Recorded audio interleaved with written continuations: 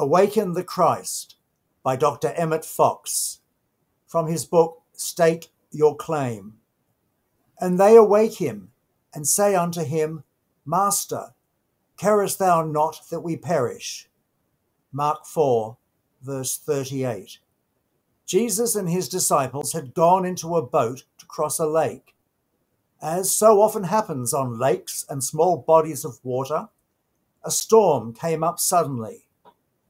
His disciples were filled with fear and apprehension because the wind was so great that the boat was rapidly filling with water. But Jesus was asleep. The disciples' first thought was to awaken the Master, the Christ, for they felt that here was a situation that had gotten beyond them. He arose and said unto the sea, Peace, be still. And the storm subsided. Then he turned to his disciples and asked them, Where is your faith that you are so fearful? Now, the Christ is asleep in each one of us until we become aware that God is not to be found afar off, but dwells within us.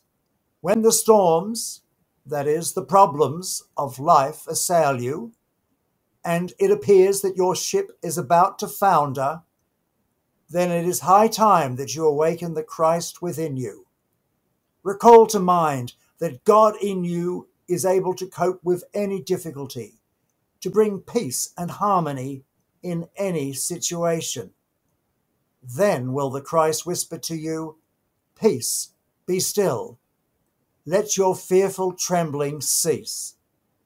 The biblical account goes on to say that not only did the storm abate, but there was a great calm. This is exactly what happens when we have awakened the Christ within. We have turned our burden over to God. The storm subsides, and a great calm comes over us, the peace that passeth all understanding.